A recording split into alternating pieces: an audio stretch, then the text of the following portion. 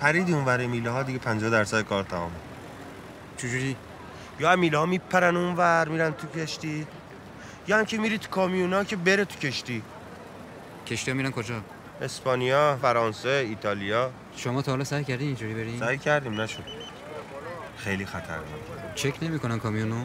چرا چک می‌کنن؟ خیلی ها رو در میارن همونجا کشتشون شهیدشون می‌کنن انقدر می‌زنن.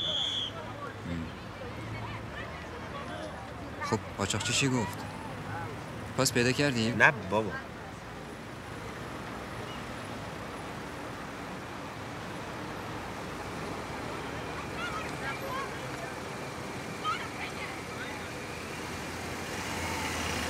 خیلی خر تو خره میرن.